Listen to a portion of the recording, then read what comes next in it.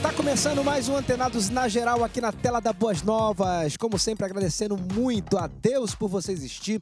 Que Deus te abençoe e te guarde, que Ele faça resplandecer seu rosto sobre ti tenha misericórdia de ti, que te dê a paz desse dia agradável que o Senhor fez. Quero já começar o programa de hoje mandando um beijo grande pro povo do Nordeste, o povo do Ceará, ali o Ibiapina que está assistindo, pastora Darcy Lira, que eu amo muito do meu coração. Quando vou pro Ceará pregar aí no Ceará, eles me acolhem com, como um filho. Um beijo grande para a família Vale de Bênção, Batista Vale de Bênção, 20 igrejas ali espalhadas ali, fazendo a diferença no Nordeste. Um beijo grande para Brasília também, pastora Rosângela e o seu marrom, como ela chama. Um beijo para vocês, amo muito vocês, viu? Muito bem, hoje no Antenados na Geral vamos falar sobre jovens e tradição. Como é que é essa relação do jovem e as igrejas tradicionais? Como é que é essa adaptação? Hoje temos um crescimento grande de jovens na igreja, fazendo a diferença, ocupando cargos importantes dentro da igreja. Vamos falar um pouquinho sobre esse assunto para participar comigo. Convido ele, que é pastor dirigente da Advec em Iguaba Grande, Jonas Almeida. Bem-vindo, Antenados a Geral. Prazer estar aqui mais uma vez, Pablo, todos os amigos, é um prazer sempre estar aqui para falar e também para aprender, principalmente aprender. Espero que esse programa seja produtivo, abençoe você. Aproveito aqui e mando um abraço para a Devec de Guaba Grande, eu sou dirigente lá, um abraço para todo mundo. Você que está assistindo, Deus abençoe. Muito bem, para participar comigo também, ajudar aqui na contribuição, convido ele, que é pastor da igreja Cartas Vivas, é músico, Alexandre Pilar. Bem-vindo, Antenados na Geral. Prazer estar aqui novamente. Também quero mandar um abraço pessoal da igreja Cartas Vivas ali em Cascadura, tá todo mundo vendo. Que seja um tempo de edificação nas nossas vidas, amém? Para participar também convido ele que é pastor da Philadelphia Church em Campo Grande, psicólogo, coach integral sistêmico, Fábio Lage. Bem-vindo a Tenasa Geral. Você tem sobrenome? Bem-vindos. Valeu, Fabão. Fabão Lage, Fabão. Prazer todos estão nos vendo aí, os Fablão, os debatedores aqui. Que seja produtivo para a sua vida aí, que nós viemos, né, juntos aí cooperar para o avanço e crescimento de todos nós aí. Muito bem, vamos lá então para a abordagem de hoje. Cada vez mais vemos igrejas com um número de jovens muito maior ao número de pessoas idosas. Temos visto muitas igrejas jovens, mas em contrapartida também vemos muitos jovens que saem de suas igrejas ou até se desviam por achá-la muito tradicionais. A juventude sempre teve um estilo e um pensamento irreverente ou até mesmo inovador o que em muitos lugares nem sempre foi bem visto por aqueles que são mais antigos ou mais velhos. Hoje, o Antenados vai falar um pouquinho sobre essa relação da juventude e a igreja. Pastores, de fato, existe hoje né, uma força jovem muito grande na igreja. Você vê os jovens ocupando o, o, a, o altar ali, a, a, o, ministro de, o, o ministério de louvor, ocupando outros departamentos, jovens pastoreando igreja. O que, vocês acham é, dessa, dessa força? Como é que a gente pode explicar isso? Porque, de fato, o jovem tem a força, os mais idosos têm a experiência. E aí, hoje, como é, que, como é que acontece lá na sua igreja, pastor Alexandre? É assim também? É, nossa igreja, assim, eu fui pastor da congregacional, que é uma igreja de 98 anos. E eu lembro que quando eu é, pedi a benção do pastor Carlos para a gente sair, ele até falou comigo, pô, então, é, porque você não estende a bandeira, enfim, da denominação e tudo. Mas eu tinha uma, uma visão, porque a igreja começou com moradores de rua, com mendigos, e eu queria trabalhar em cima daquilo que Deus tinha nos confiado. E, naturalmente, é, é, a nossa igreja também lá, a faixa, é, a faixa etária vai de 25 a 50 anos. Só que eu acredito no seguinte, cara, a principal perspectiva que eu tenho da igreja está naquele encontro de Esaú e Jacó, ali em Gênesis, se não me engano, é capítulo 14, eu não tenho certeza. Mas é tão bacana porque você chega ali e vê Jacó olhando para Esaú e falando assim: Esaú, vai no passo do camelo, anda, que eu tenho aqui crianças, eu tenho velhos, eu tenho moços, eu tenho uma igreja. Porque eu acredito que a igreja, na sua essência, ela deve ser um ambiente é, é, diversificado com diversificação também de idades. Eu acho que o nosso desafio hoje é equalizar isso. É bem certo que a igreja, de uma certa forma, e aí eu estou falando da igreja na, no cunho da instituição mesmo, a, a, igreja está num momento de transição. Eu sei que a igreja não, não é uma instituição, sim, é a unidade do corpo, são os irmãos, a coletividade, as pedras vivas, amém, eu entendo tudo isso. Mas a igreja, ela está num momento de transição transição para um novo tempo, dessa hipermodernidade. Existe uma nova linguagem, um novo desafio, para a igreja. E eu percebo que existe um efeito gourmet. Se, hoje, se a gente analisar, você vai ver que ninguém quer comer mais um hambúrguer do McDonald's, que todos são iguais, ou do Bob's ou do Burger King, não que seja ruim. Mas as pessoas hoje estão com uma mentalidade gourmet. O que está acontecendo? O cara quer ir comer numa hamburgueria exclusiva, Sim, tal, que tem uma identidade artesanal. Exclusivo. O cara hoje não quer ir no cabeleireiro lá, que não sei o que, ele quer num cabeleireiro tal, que tem uma identidade e tal. Ou seja, a igreja, ela é um agente de influência, é um agente social, um agente espiritual, um agente comunitário, ela é. Então, eu acho que o mais importante para a gente entender, é, é procurar entender e discutir é qual a igreja que vai se tornar relevante para esse tempo. Porque a igreja não é um objeto afastado do mundo, pelo contrário, a igreja é um objeto de ação, de efeito, de influência nesse mundo.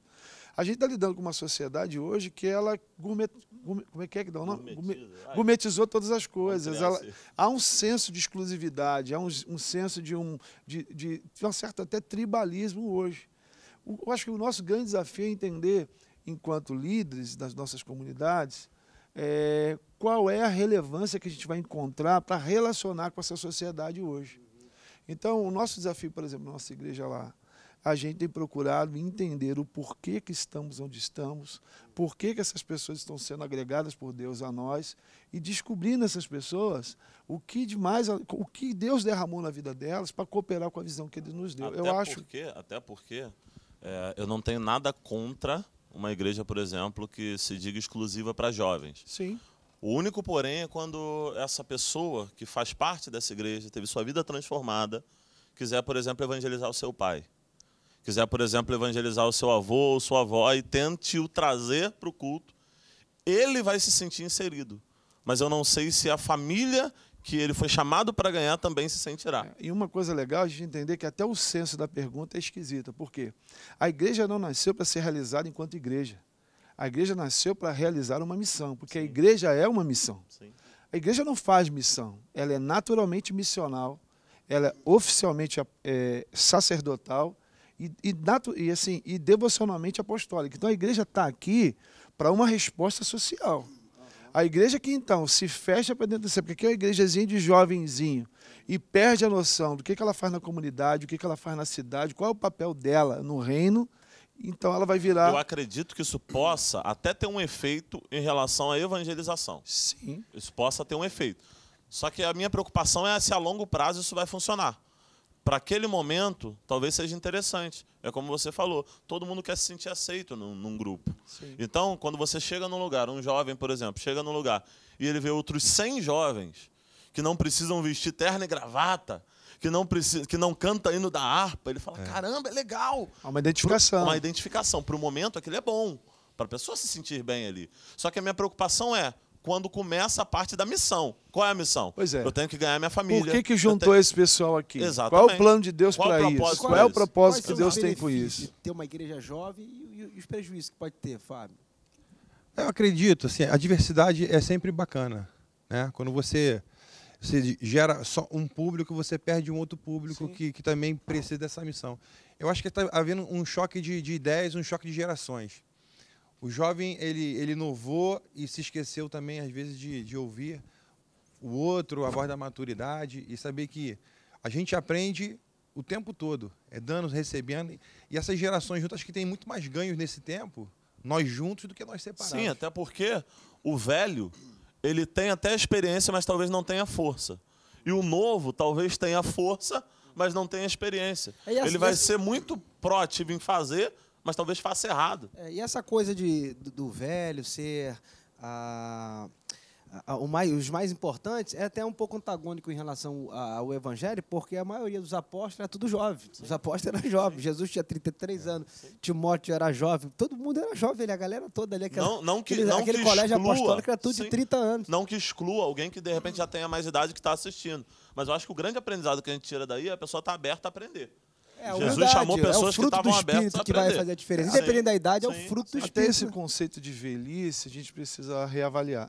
É porque assim, a gente pensa que apóstolo, pô, os caras ah, devem ter 70. Tudo É, bem, Paulo morreu é. com seus 70 e pouco, lá, Lá 80. na, lá na Devec mas, Guarda tem um pastor auxiliar que tem 81 anos de idade, tem WhatsApp, tem Facebook, Tá, pronto, é conversa qualquer, qualquer Tudo tá assunto na que tu mente. quiser. O legal é, é justamente isso, quando os mais maduros se abrem para o novo e os novos para, passam para ouvir esses maduros. Lá, lá- lá na nossa igreja, na Filadélfia, a gente vem de uma igreja histórica, uma igreja batista, então os pastores muito da antiga. Então, assim, a, a gente, nós como jovens, tivemos que ter paciência, flexibilidade também trazer eles para uma nova visão do WhatsApp, de uma rede social, informar eles. E foi, não foi fácil, não foi fácil. Mas hoje a gente vê os nossos pastores antigão hoje mandando uma mensagem, trocando, compartilhando hoje com os mais jovens. Tudo é uma questão da gente ter a paciência de, de fazer isso acontecer no nosso meio. O corpo tem que estar bem ajustado. Pra, por, exemplo, eu estava vendo um pastor, é, até o Paul Walsh, e dizendo que não tinha mais a- o vigor e a força da juventude. E ele orientando a juventude a correr atrás, a aproveitar o tempo, gastar a energia que tem. Porque, de fato, o jovem tem a força, o jovem tem o gás, o jovem está aí na frente para entrar na batalha. solto. Ele, Ele precisa, precisa de alguém, precisa ter alguém ali discipular. Eu, por exemplo, minha primeira igreja que eu dirigi, eu tinha 23 anos de idade.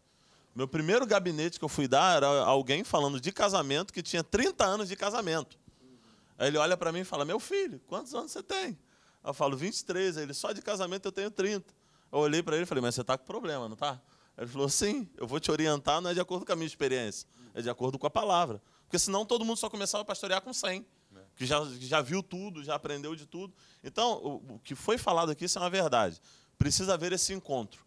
Eu não, não quero dizer aqui que não é válido igrejas que, por exemplo, funcionam apenas em nichos de igreja de roqueiro, igreja de surfista, igreja de jovem. Eu não estou dizendo que isso não funciona. Eu só estou dizendo que chega algum momento que isso perde a função. Na, pra- na prática lá, eu diria que é o seguinte, quando a missão é emblemática, ah, as pessoas se auxiliam. Então essa coisa da idade, ela perde um pouco do sentido maior e aí a gente começa a tratar de experiência. A coisa começa a mudar. Porque às vezes você encontra um menino, por exemplo, eu tenho um menino lá na área de, de determinada na área social que ele é novo, mas ele é extremamente experiente nessa área, ao ponto de os senhores que têm lá de 50 e poucos anos terem que aprender com ele. Por quê? Porque a missão é emblemática. Quando a missão é emblemática, não é o Cronos que fala, é a experiência de cada um, é como cada um pode cooperar com isso. Agora, vocês acham que uma igreja que não acompanha, não consegue dialogar com o mundo atual, não consegue contextualizar, ela está sendo prejudicada por alguma, por alguma influência da sociedade? Porque hoje a pós-modernidade, esse relativismo, esse pensamento acelerado, a internet, o avanço tecnológico, a inteligência artificial aí crescendo muito. Será que se a igreja... Porque o que mantém a igreja é a palavra. É, as estratégias são apenas é, detalhes. Mas será que se a igreja não conseguir se adaptar a essas estratégias, isso, ela recebe algum tipo de acho que prejuízo? grande- acho que o grande problema hoje é a nova geração que eu faço parte achar que tudo que foi feito atrás Não valeu. não valeu, é obsoleto. Eu descobri, eu descobri a roda agora. Sim. Então, esse é o grande problema. Por quê? Alguns aqui, ou todos vão lembrar que há um tempo atrás se dizia que para pregar a unção estava na gravata. E, ó, entrou na igreja, tem que estar de terno e tal, não sei o quê. O- o- a discriminação era de um lado. Hoje em dia é do oposto.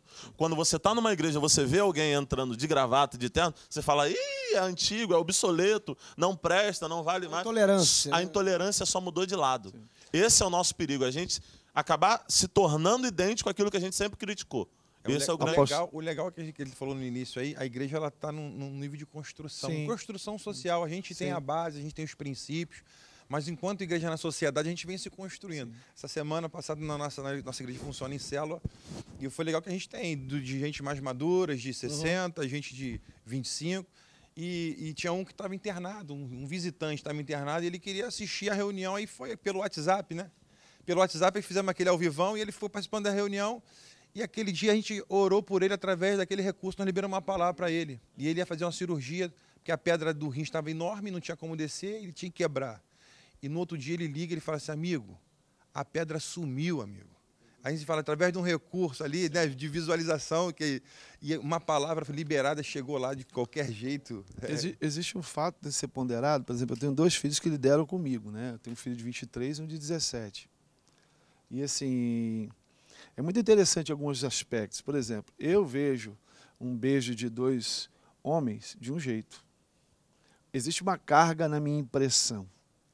Existe uma carga na impressão dos meus filhos. E a gente precisa também ser muito consciente para entender que existe esse diálogo que o meu filho talvez tenha uma outra outro padrão de, de, de diálogo do que o meu. Então a gente precisa ter também esse entendimento, porque eu vejo o seguinte: às vezes o mais velho ele acha que a experiência dele é base para todas as coisas. E a gente tem uma nova geração aí, e o apóstolo Luiz, que você sabe que o caminho, teve até na Lagoinha agora no, no evento, não sei se vocês assistiram a conferência apostólica do Clamor, ele falou uma coisa, hoje tem uma galera de 23 anos, cara, que acha que sabe tudo, que quer aconselhar e discipular a nação.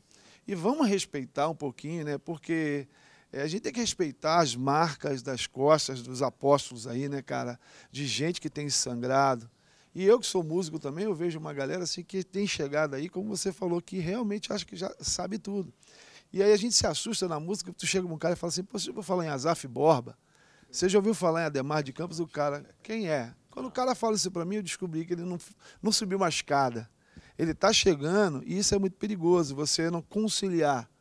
Porque a Bíblia não descarta o vinho velho.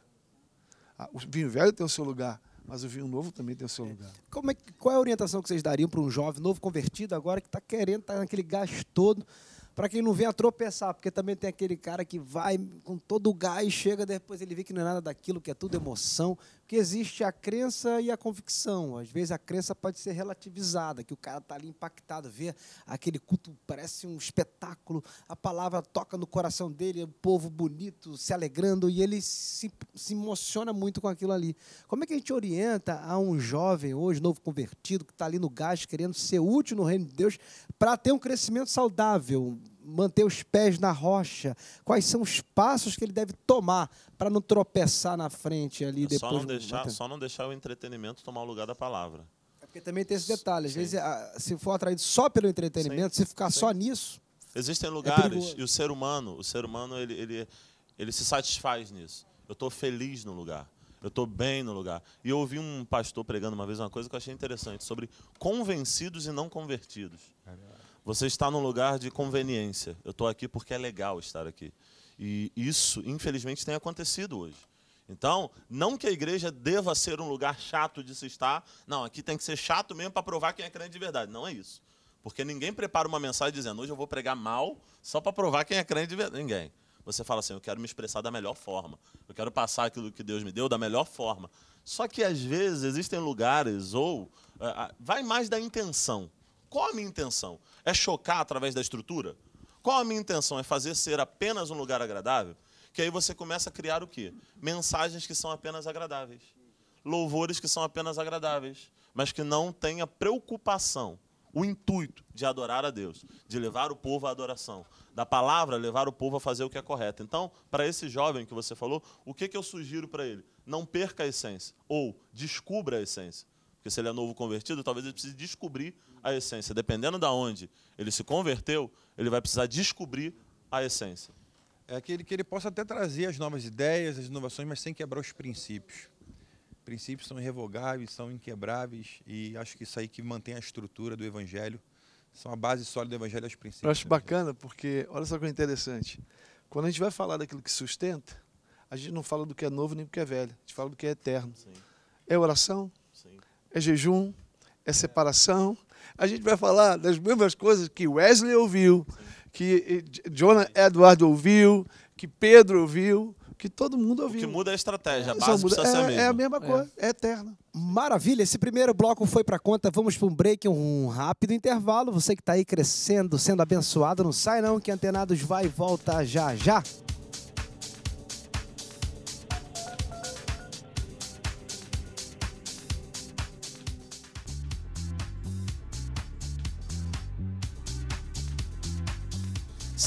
Estamos de volta, segundo bloco do Antenados na Geral, com muita alegria. Lembrando que você é e sempre será o patrimônio da Boas Novas. Então participe comigo aí. O telefone vai passar aí debaixo da sua telinha. Manda para mim uma mensagem de texto, tema. Pode gravar um vídeo no WhatsApp. Sugerir aí as perguntas que você quiser. Visita nossa página no Facebook, Instagram, nosso canal que temos no YouTube. Se você tiver um amigo que não tem, não passa Boas Novas lá, coloca lá no YouTube BN Play. Vai passar ao vivo 24 horas. Esse programa vai para lá também, você vai poder revê-lo logo depois. Lembrando que você, se quiser ser um semeador, a Agência Conta vai passar e você pode semear, oferecer uma oferta de carinho, de amor, para que possamos pregar o Evangelho aqui até a volta de Cristo. Muito bem, pastores, falando aqui sobre jovens, sobre os anciãos, é, a gente percebeu que parece que os costumes têm se perdido muito, né? Os valores dos costumes têm, sido, têm se relativizado. Antigamente era proibido uma, uma tatuagem, era o cara não podia ir para a praia, tinha ainda um, um, costume muito forte nas igrejas. Isso foi se perdendo. É, é, é, Mas também tem aquele outro detalhe que vai para outro extremo também, né? Sim, Isso que é interessante. Sim. O cara, porque o equilíbrio, acho que o equilíbrio é, é, é a chave do sucesso. Será que a igreja está indo já para o outro lado? Será que os costumes entenderam que os costumes são costumes locais, culturais, que não é uma exigência bíblica, é apenas da cultura? Mas será que a gente perdeu os principais costumes também? Porque, por exemplo, eu estava num culto de jovem, aí eu cheguei por trás, assim, o louvor lá, passando, todo mundo, todo mundo não, mas tinha uma galera lá no WhatsApp ali mexendo, eu falei, isso aí não é legal, já não é saudável. E o povo saindo do banheiro e voltando. Aí parecia que, tudo bem, a religiosidade está se quebrando, mas já está indo para um outro extremo. Sim. Será que isso está acontecendo? Sim. Se vocês pensam na igreja de vocês acontece esse, isso? É, esse, eu acho que esse é o grande problema. É, é o que eu falei aqui. De tanto criticar uma geração, a gente acaba se tornando idêntico, só que do outro lado. Porque muitas então, coisas deixaram de ser pecado, mas ao mesmo tempo. Exato, exato. Então, a negligência também foi. Era permissivo demais também. Exatamente. Então existem costumes. Maneira, né? Sim, existem costumes que não ferem a palavra. E existem costumes que quando a gente desapega de vez e fala, não, isso aqui não vale e tal. Só que existe alguém que se sente bem com esse costume. Existe alguém que se sente, ah, mas isso não está na Bíblia. Tá bom, mas a pessoa se sente bem com é, pronto. Deixa ele. Respeito. Segue, é. entendeu? Eu vou seguir da minha forma e você não vai seguir da mudar sua. ninguém. Só que tem um outro lado também, que eu vou enxergar também, vou tentar ser aqui um pouco otimista. Antigamente, quando se dizia de, ó, culto jovem, vai ter só música agitada, é só música para dançar. Hoje em dia a gente está reparando eu não vou ser, dizer que 100%. A gente está reparando um, uma geração de jovens que tem tentado fazer músicas cristocêntricas, falando de adoração, falando de, de momento de santidade. Isso tem sido bom. Você tem visto uma geração de jovens que tem dedicado tempo, você vê louvores que as pessoas se entregam totalmente. Isso é bom. Então, tem a parte boa nisso também.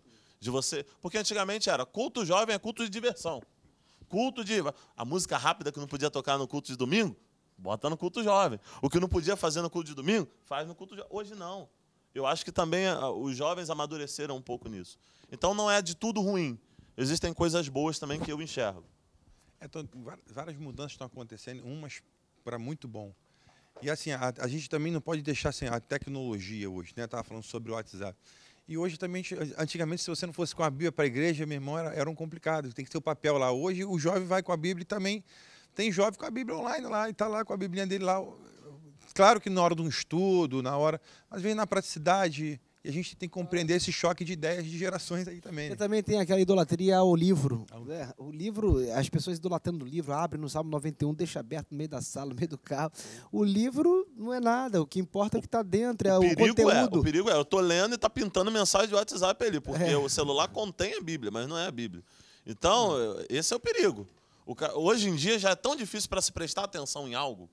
E eu estou ali, eu, eu de verdade, eu estou ali lendo a Bíblia, oh, glória a Deus, olha, aleluia, que mensagem maravilhosa. Aí pinta uma mensagem importante.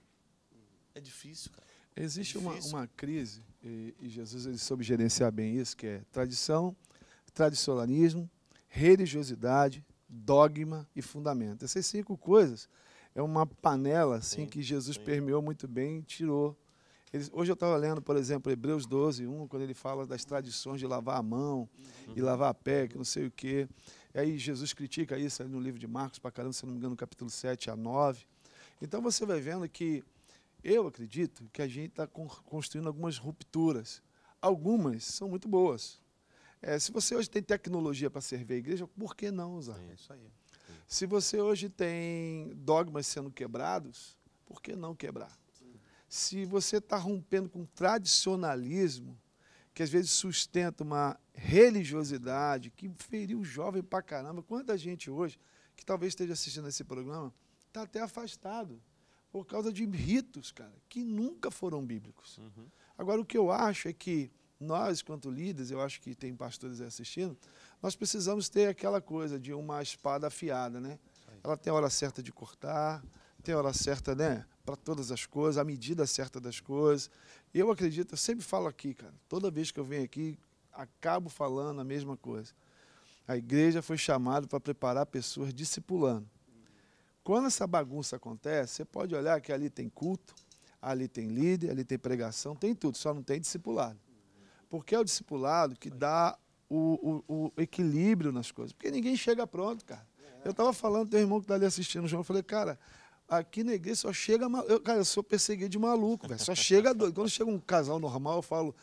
Hum, vamos esperar Não três vai ficar meses. muito tempo. Não, vou esperar três meses. Mas o que eu percebo, por exemplo, olhando para Davi, cara, os melhores valentes sempre vão ser encontrados na caverna. Agora a gente tem que passar um tempo com eles nela. Aí, Ninguém encontra valentes na esquina. Eu acredito muito no discipulado. E eles chegam mal, eles chegam rebeldes, Sim. mas assim, dá trabalho e gasta tempo. Sim. E muitos líderes também não querem não querem Chega viciado trabalho. no WhatsApp, cara. Chega no culto, cara, às vezes, pô, graças a Deus que ele está ali no WhatsApp, porque na verdade ele não queria nem estar tá ali. Sim. Mas o processo de equilíbrio da vida da igreja, e que quebra o tradicionalismo, que quebra a religiosidade, esses dogmas que eu acho tudo do demônio, sinceramente, que eu não fui, eu não fui criado em igreja não, mas às vezes eu falo, graças a Deus que eu não fui. Porque os crentes religiosos que me perseguiram na infância, eu, hoje eu não os vejo na casa do Senhor. Eu dou graças a Deus por não ter sido. Eu dou graças a Deus porque eu fui. Talvez eu não, tivesse é, aqui. Porque eu os fui crentes cercado, religiosos. É, eu fui cercado é. por Alguns gente. ainda o são. Os crentes que queriam me levar para a igreja, eu não ia, cara. Sim. Porque eles queriam me enfiar um roupão. Sim. E eu falava, cara, eu não vou andar com esse roupão, eu gosto de surf, bicho. Você tá. É.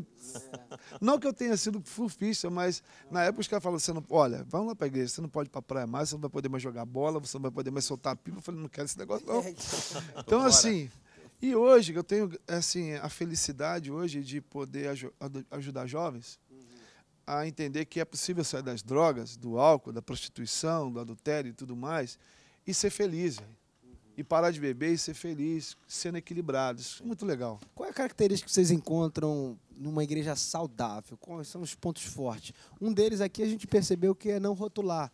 É, pode ter muitos jovens trabalhando, mas não pode ser rotulada como uma igreja do jovem, porque o ancião, o que quer que seja, de qualquer cultura e tribo que chega ali, tem que se sentir bem. Independ... No, no, essa identidade também cria uma espécie de acepção de divisão, aí o cara chega lá e não se sente bem. Acho que é para atender a demanda de toda a cultura, de todos os tipos de idade, como é que a igreja deve viver? Que tipo de, de ponto principal? Que tipo de, de. Por exemplo, ali tem, se você sabe que a tua igreja tem muitos jovens, mas também tem anciãos, tem gente mais velha, não seria legal você só tocar uma música agitada, né? Porque também tem que pensar nos irmãos que não gostam da música agitada. Será que esse equilíbrio, como é que a gente encontra esse equilíbrio?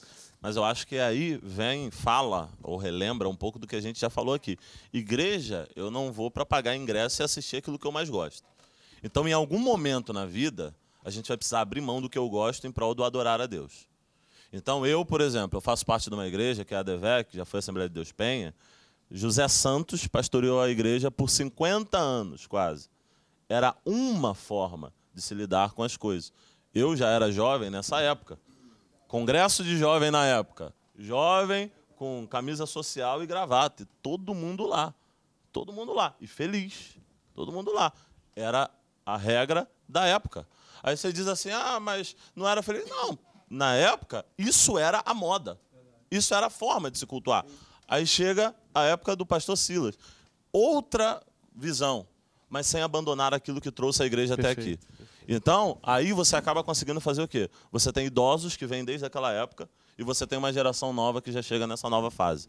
Então, eu acho que isso é o saudável. Eu estava até conversando com um, um, rapaz que começou a dirigir igreja, se tornou pastor, ele era líder de jovem. Eu estava falando isso para ele, isso foi minha grande dificuldade. Porque você liderando jovens, a tua forma de falar é uma. Ainda mais eu agora que fui três meses dirigir a igreja de Iguaba. Iguaba é conhecido por ter muitos aposentados idosos. E colocaram exatamente um pastor novo lá para trabalhar isso. Você tem que ter muito cuidado na forma de você falar. Para que a pessoa que está te ouvindo ali talvez não se identifique com a tua forma de falar. Não, ele está falando com muita gíria. Tá falando... você precisa se adaptar para a pessoa te entender. Eu vou precisar para um break. Queria ouvir também do Alexandre e do Fábio sobre uma das características e pontos de uma igreja saudável. Você que está aí assistindo, não sai não que Antenados volta já já.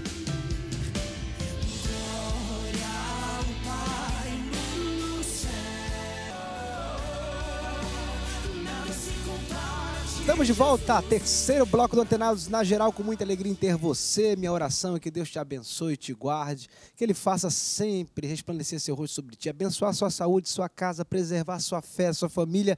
Que Deus abençoe muitíssimo seu coração nesse dia agradável que Ele fez. Estamos aqui falando sobre a diferença entre jovem e o tradicionalismo, tocando aqui no ponto agora de igreja saudável, inclusive, até estava falando aqui no intervalo da igreja do Fábio, que o pai dele, sempre batista tradicional, tinha um costume, tinha um rito, e ele, jovem, como vice-presidente, agora assumindo também junto ao pai e futuramente tomando a frente da igreja, mudando a cabeça cada mente, vem com uma mentalidade nova, atualizado.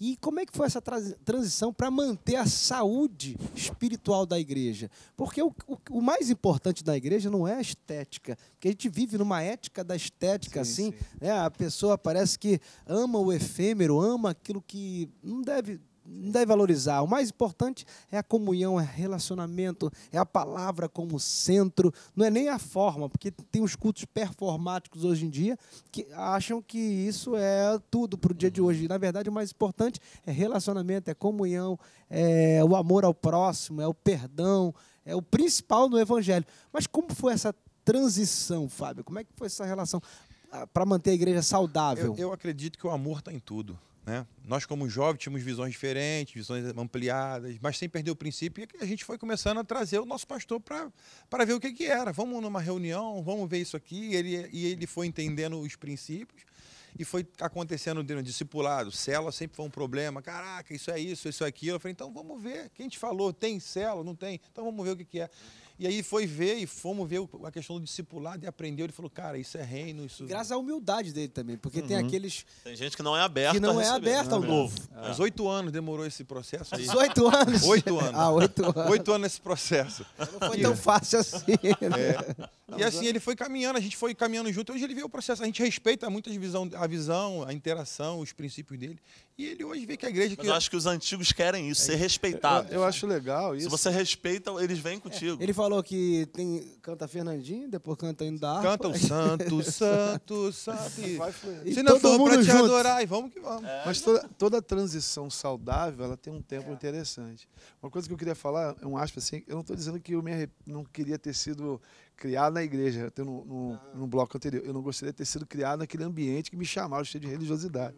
Mas, pô, eu queria ter sido, eu queria ter sido embaixador do rei, cara. Não tem negócio de embaixador do rei, não negócio eu queria ter sido. Mas o que eu queria falar é o seguinte, sobre essa questão de uma igreja saudável, eu acredito que os, um, um dos muitos segredos, mas um do que eu acredito, além do discipulado, está em Efésios capítulo 4, versículo 11, que é a ativação do sacerdócio de todos os santos apóstolos, profetas, mestres, evangelistas, missionários, pastores, que ativam, edificam pessoas para que o seu sacerdócio, o sacerdócio de todos os santos, funcione. Por que eu estou dizendo isso? Porque o segredo de uma igreja saudável é que todo mundo funcione. Uhum. A água não pode parar. Sim. Então, o que eu quero dizer? Cara, os melhores missionários são os aposentados. Bota mis... é, aposentado. Isso, é Nada de jogar dama na praça. Vou te enfiar um. Vou te, Ou que jogue vou te mandar, enquanto é, joga. Vou te mandar pangola. Tu vai é. jogar. Quando ele ganhar, ele fala: Jesus me abençoou. É, eu falo para a viúva, falo assim, cara, agora que é a tua hora, tu não é. tem mais mala nenhuma para carregar. Agora eu vou te mandar para Moçambique. Vou te mandar para Índia. É, é. Faz um curso de enfermagem. É mesmo, é fácil. E nações, cara. Então você fazer as pessoas funcionar, é, desenvolver ministério. É, outro dia um cara falou assim, mas quantos ministérios você gostaria de ter nessa igreja? Eu falei, uns 400. Uhum. Porque isso significa que as pessoas estão fluindo. É, a multiforme graça do Senhor muito está ativando pessoas. Eu acredito muito nisso, sabe? Uma orientação, assim. E assim, aproveitando e completando isso, eu, por ter vivido essa época diferente, hoje eu consigo entendê-los. gente que ainda vive nisso. Eu consigo entendê-los. E existem momentos que eu vejo que eu estou acelerando demais, eu falo, ô, ô, ô, peraí, deixa eu voltar lá um pouquinho. Entendeu? Isso serve Isso serve para tudo. para alguma coisa. Aí tem o coral, deixa Exato, ter coral. Aí exato. tem não sei o quê, deixa ter, cara, deixa ter tudo, tudo. que a gente vive tem um propósito. Vai servir lá no futuro para alguma coisa. A gente ensinar o povo no, no caminho do Senhor, no temor do Senhor, que é o princípio da sabedoria. Sim. Seja jovem, seja idoso. Porque se tiver temor no Senhor, a gente vai ter tolerância com, as com os novos. É claro que a gente deve sempre ficar com o pé atrás, porque senão a igreja vira um clube também. O que acontece? O cara faz da igreja um clube. Teve no início da minha conversão, congrega, me converti numa igreja, aí sai aquela paixão, né? Amando a palavra, evangelizando. Aí me chamaram para o culto de jovem lá, e o culto era culto do amor, culto do namoro, tinha um negócio assim. Aí tinha um cara pegando a menina na pilastra da igreja. sabe? Falei, peraí, aí também já é demais, né? Tem, tem um exagero, tem um exagero. É, Mas hoje em dia tem muitos. Vocês acham, por exemplo, um culto de Jó, botar lá o cara vestido de Shrek, de Chapolin, isso aí afeta, isso aí ofende? Ou é estratégia, é tranquilo? Como é que vocês. Assim, a, a mim, a, mim não, a mim não ofende, mas um idoso que chegue lá e veja isso, ele não vai se sentir bem. É o que eu falei. Igrejas exclusivamente para jovens, eu não condeno que exista. Eu só acho que é temporal. Eu, ve, eu, a minha visão, eu vejo igrejas, por exemplo, que servem muito bem para pescar e ganhar, mas não conseguem cuidar. Não conseguem fazer crescer. Eu não preciso citar nomes. Igrejas que vão em lugares que a gente não conseguiria ir, ele consegue ir, pesca e salva.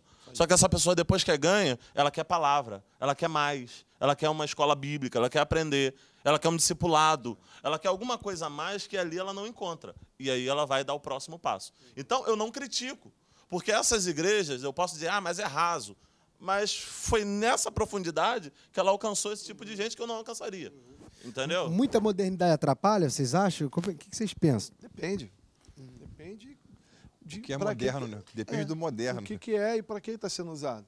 Eu, quanto mais tecnologia tiver ao favor daquilo que eu preciso, eu volto ao início do primeiro bloco. Cara, a visão que eu tenho é muito clara. A missão está sendo desenvolvida. Tudo que eu puder usar Por exemplo, alcançar. passou o carnaval aí. Tem igrejas que faz trio elétrico, tem outros que os tradicionais já, já, já, já não gostam. O que, que vocês acham dessa. eh, tentar atualizar, contextualizar? eh, com trio elétrico, você. festa junina, pegar as festas principais, até pagãs, mas você tentar redimir elas. Será que dá para redimir uma festa como essa e Na- evangelizar? Na, festa, na festa no, no- no carnaval que teve agora, nos dias de carnaval, a nossa igreja fez um trabalho de evangelismo.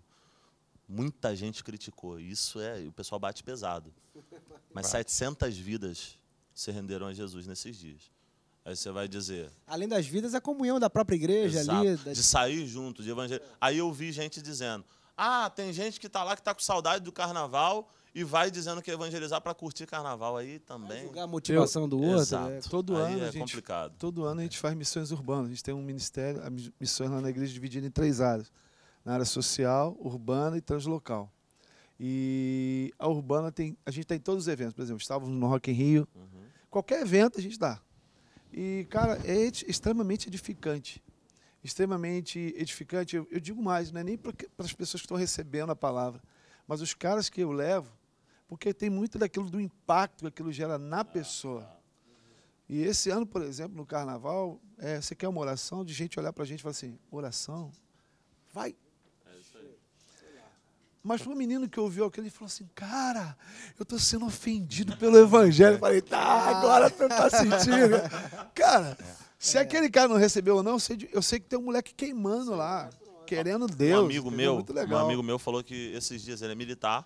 Esses dias ele recebeu a ligação de um amigo dizendo assim: "Eu tô dentro do banheiro. Eu tô aqui, eu tô numa festa, tô num baile". Ele falou: "O que que tá acontecendo?". Por causa do rapaz lá fora. Ele falou que ele pensou logo. O cara tá querendo matar ele, tá querendo dar um tiro, alguma coisa. Ele tá lá fora e tal, mas o que que aconteceu? Não, é porque eu tô no meio de um baile funk e tem um rapaz evangelizando aqui. E daí? É porque alguns anos atrás eu era aquele cara. E isso tá convi- mexendo comigo. É o Eu que a gente preciso- tem que Sim. parar de criticar, na verdade. E, e- e a estratégia ela pode ser de qualquer forma, mas o princípio está acontecendo e Deus está fazendo. Deus andou no meio de, das prostitutas, do meio dos publicanos. E ele nem por isso se contaminou por essas pessoas. Pelo contrário, ele fez a diferença no meio dessas Ele pessoas. sentava Ele- na roda dos escarnecedores para diminuir, não é para somar. É- somar. É sempre com um propósito. Esse cara que critica é o tal religioso, dogmático do inferno que o jovem não quer também. Quem, quem exemplo, não faz, odeia Esses quem dias faz. eu, né? eu ministrei num- numa igreja, aí um, um cantor chegou para mim, pastor, vamos lá para sua igreja, tem um- uma proposta, fazer um campeonato de videogame dentro da igreja para poder evangelizar. Será que isso é interessante ou já chega a banalizar o lugar? É legal fazer um campeonato de videogame? Eu nunca tinha ouvido isso, campeonato de videogame dentro da igreja. igreja, lá na igreja tem lá uma galera do PS4 lá que é, É, fiel, velho. É válido. É porque antigamente as pessoas pensam, o, o prédio, a igreja é o prédio, o né? tradicional, eles vê um negócio Ele desse não é o aí. prédio, ele- né? O prédio antigamente pisa, pisa, ó, tira a sandália porque está pisando na terra. Lá fora fazia tudo. Mas aqui, aqui a terra é santa. Então é muito mais do que o prédio. Eu sou a igreja. E aonde eu vou é a igreja né, caminhando pelo mundo. A questão é ter paciência para explicar para o antigo que não vai entender. Se a estratégia funciona, se está ganhando pessoas, se está construindo valores de alguma maneira, se está conectando pessoas, se está contribuindo para um discipulado, para um direcionamento da vida das pessoas, qual é o problema? Assim, agora tentar ter uma ótica mais tradicional, por exemplo, porque a gente também está defendendo muito um lado. Mas eu sei que tem muita gente aqui que, que ama o tradicionalismo e vai viver, morrer assim, e a gente tem que respeitar, Mas tolerar unidade e é diferente de aceitar. unanimidade. Unidade é. mesmo eu discordando de alguma coisa, não, vamos É, continuar. o meu propósito é maior. O que não une, é unânimo. Não é, é, o que une tem que ser maior do que nos afasta. Por exemplo, é, a igreja, Deus instituiu marcos na história. É, a salvação é pela graça mediante a fé. Jesus salva, é nele, somos igreja, independente da instituição, a salvação é por meio dele. Mas existem os marcos na história, até porque hoje nós sabemos o que sabemos por causa dos marcos, por causa da história, por causa da história da igreja, dos profetas que vieram atrás de nós. E se a gente de- desfazer esse- esses marcos, né? diminuir, banalizar esse marco, você acha que pode atrapalhar a próxima geração? Por exemplo, a igreja somos nós, mas a instituição ela faz parte do marco da história da igreja. Se a gente diminuir o, o papel dela, não ninguém vai ser salvo por causa da instituição, porque é membro de algum lugar. Mas se a gente diminuir, banalizar, porque também tem duas extremos. Ah, eu não vou para a igreja, não, eu posso cultuar dentro de casa, eu posso assistir pelo YouTube o culto. Aí, aí eu, E aí a- acaba indo para outro extremo Aí também. eu não acho nem é uma quebra de princípios. A Bíblia fala sobre congregar. A Bíblia fala sobre ter liderança. Isso é uma outra questão. Isso é totalmente diferente. Isso É aí não é modernidade. Não é modernidade. Por exemplo, eu, eu- um amigo meu fez um, um- celebrou ceia na igreja dele com pizza e Coca-Cola. Aí eu falei, bicho, O pastor que veio aqui ontem. Tá brincando. pô, é, tu tá de brincadeira veio aqui, comigo. é. Você tá entendendo? Não, mas é só não sei. Não, bicho. Não é isso, não. Tem um O simbolismo. cara que fica criativo até demais, aí passa do É, limite. tem um simbolismo que, que aponta princípios. Princípios, Existe. Mas é quando a estratégia tenta Mas se não ultrapassar tiver? o espiritual. Se, não tiver, se eu tiver só tapioca e ovo. Aí é uma outra história. Outra né? É, é, Aí é outra história. Aí Opção isso é uma coisa, necessidade é outra. é outra se tiver no história. deserto, Saara, o cara se converteu, não tem água. É vai, ter que, vai ter que história. batizar com terra. Aí é outra, Outra história. história. Maravilha! O papo tá bom demais aqui. Vou precisar para um break. Tem mais um bloco. Quarto e último. Não saia, não. Vamos fazer um resumo bacana. Tenados volta já já.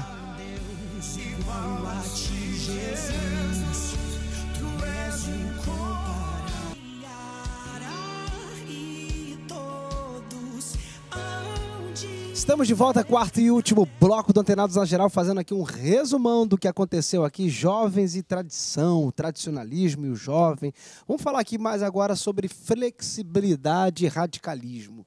Até onde a flexibilidade atrapalha o reino de Deus e até onde o radicalismo também prejudica o reino de Deus. Como é que vocês podem pontuar o, o equilíbrio nisso tudo? Quando uma igreja está flexibilizando demais, ela está banalizando o princípio. Em que ponto? E quando ela está radicalizando demais, ela está indo contra o que a palavra nos diz. Como é que a gente pode discernir isso quando a igreja está chegando nos extremos? Os, os princípios bíblicos são imutáveis. A base não muda.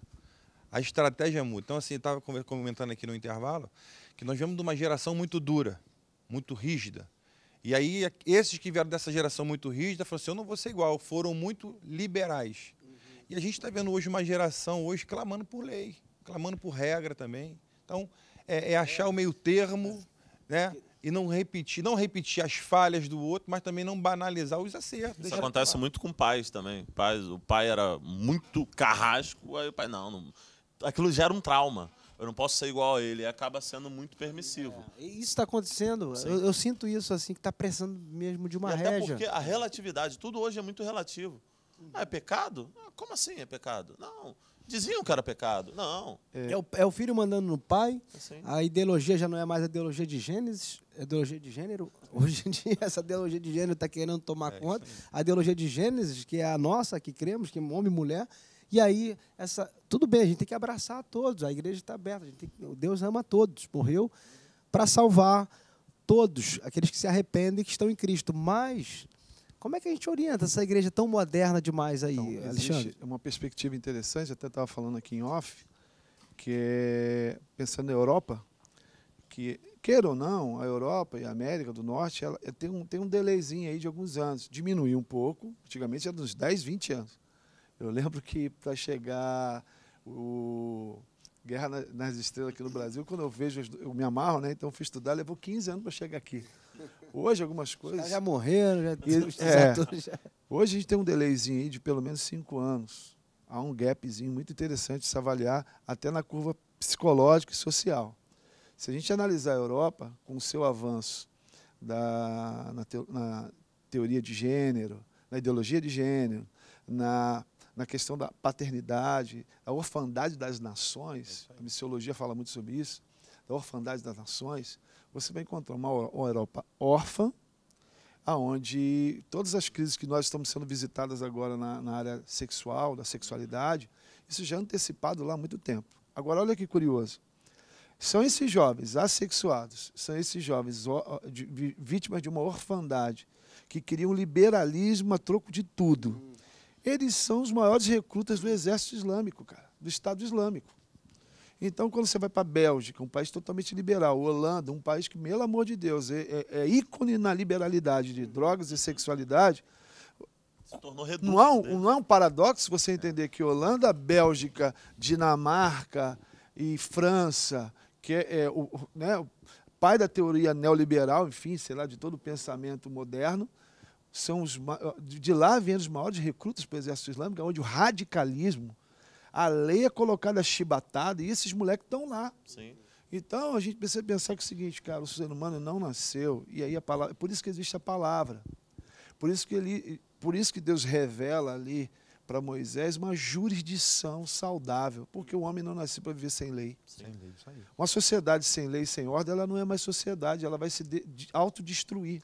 E eu acho que enquanto a igreja cedeu o terreno em busca de agradar, outros, outros, outros, vamos dizer assim, o Estado Islâmico, por continuarem rígidos, acabam recebendo pessoas que, por um momento, a igreja cedeu esse terreno. Não, ah, aqui não, pode vir. Não, vem assim mesmo e continua. Porque venha como está, mas não permaneça como está. Em alguns lugares, estão sendo. Hoje em dia se cria igreja para tudo. Sim. Se cria igreja para quem gosta de beber, se cria igreja para quem gosta de se prostituir, se cria igreja para quem não quer seguir a palavra em relação à homossexualidade, se cria igreja para tudo. Então, se tem igreja para tudo, eu não preciso mudar. A igreja, eu tenho que procurar um lugar que eu me adapte. Então, o ser humano não precisa mais, ele se tornou o centro. É a igreja que vai se adaptar a mim. Então, quando nasce novamente essa questão de aqui não se negocia valores, mesmo que sejam errados, isso chama atenção. Interessante, eu acho que quanto mais a igreja vai amadurecendo, ela vai equilibrando. Lembrando isso aí. E ela vai usando a tecnologia em prol do reino. É um processo normal. É claro que o evangelista, todo evangelista é meio doido. Então o cara bota a camisa do super-homem, o cara anda prega de Homem-Aranha. Eu acho isso tudo interessante para um primeiro momento. Exato. Mas a vida da igreja, ela precisa ser uma plataforma, sabe, de amadurecimento, de crescimento. E eu, eu, queria, eu queria dizer que a igreja, de uma certa forma, é, hoje tem muita igreja bacana, tem muito lugar fazendo um trabalho sensacional. Eu, eu, eu assim, cara, eu posso te apontar vários lugares assim que eu vejo e falo, cara, que lugar fantástico.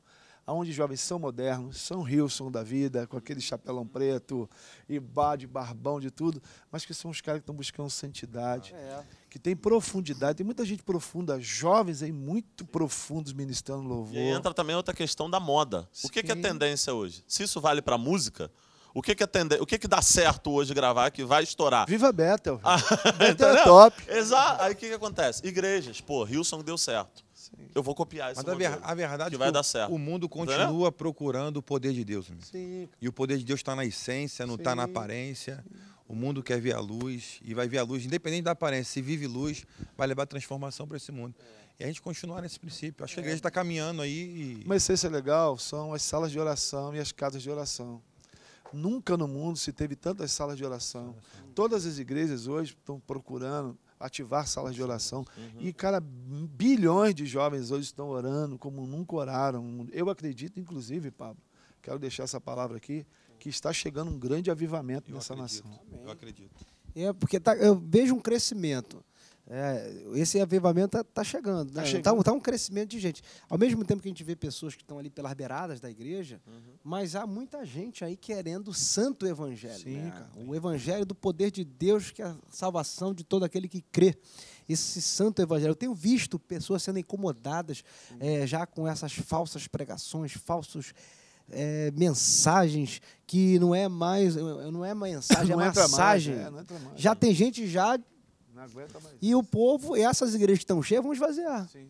E as que estão vazias vão começar a encher, porque o povo já está cansado. Né? Uma nova geração, Uma nova que é o geração fogo do Espírito, cara. Que não, não aguenta mais. Eu estava voltando da Tá praia clamando. esses dias, aí fui parar o carro para consertar a prancha. Aí um cara passando de cachorro, ô pastor Paulo, que o cara me via no antenado, falou, bom, obrigado pelo teu programa aí. Fui visitar uma igreja aí e tal. Cara, não aguento mais ouvir. Tem, já estava com. O, cara- o pregador acho que falou muita besteira. Prega, pregações antropocêntricas, voltadas para o homem.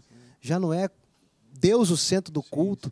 E eu estou percebendo que há um, um cansaço. E até no meio da pregação tem isso. Muitos, às vezes, evangelistas que querem desconstruir tudo que foi ensinado sobre um texto específico e às vezes não dá tempo dele construir uma nova visão. E aí, ao invés dele dar uma nova informação para o povo, ele causa mais dúvida. E, e- e as músicas também. O cara é, se ele é Deus, se ele fizer, ele é Deus, tá bom. Aí depois não sai daqui enquanto não me abençoar, ué. Se ele é Deus, tu confia em Deus, agora tu não sai daqui se ele abençoar. As teologias da música também estão. Mas a gente percebe que nesses últimos tempos até a letra da nossa música está mudando. Sim, é isso que eu, é isso aí. A direção das nossas, das nossas canções estão sendo diferentes. Pastores, obrigado aí pela presença de vocês. O papo, como sempre, uma benção. Obrigado, Brasil. Obrigado você que me ouve. Um beijo grande, como sempre. Até a próxima. Uhul!